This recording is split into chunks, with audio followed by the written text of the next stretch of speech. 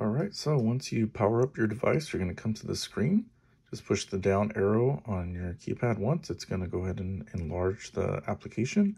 Click and hold the center click until you see this application menu come up. Then you're going to go down to Android settings. And here you're going to go ahead and connect it to your Wi-Fi. Just go ahead and click here. Um, yours will show up like this. It won't be connected, of course, because it doesn't know your Wi-Fi.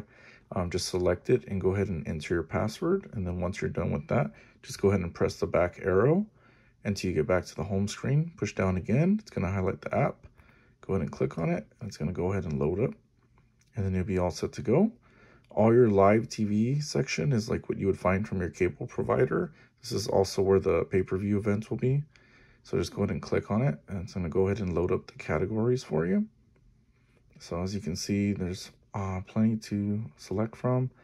You have like your entertainment. This is where you'll find like the cooking channel, AMC, Animal Planet, BET, Court TV, etc. Just click on it once and it's going to go ahead and load up as a preview. If it's what you want to go ahead and watch, press the center click again and it loads it up full screen and you can go ahead and navigate between the channels like so. Just go ahead and press back and then it'll take you back to your category selection. And uh, again, this is where you'll find the pay-per-view events. Let me scroll down, I might have passed it. Yes, so right there, USA pay-per-view, MMA and boxing, WWE and UFC.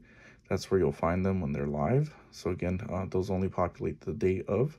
So um, you'll go ahead and get a list sent out to you when those are active. Uh, your movies will be here in the section in the center. And then you can go ahead and pick from whatever it might be. Say it's adventure, that's one you pick. Let's go ahead and select one of the movies. Let's say we wanted to watch Aladdin. Go ahead and click play. And then it'll go ahead and start right up for you. Uh, no need to do anything else. And you can skip using the left and right keys until you get to where you want in the movie, forward and back. And series works very similar. Uh, we'll go ahead and go into that category.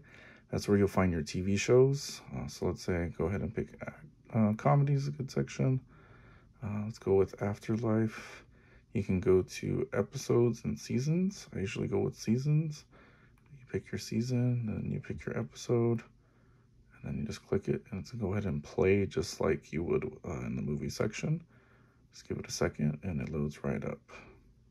All right, so that pretty much covers it. Um, go ahead and explore. If you have questions, uh, just let me know. But again, a pretty simple setup and very easy to use.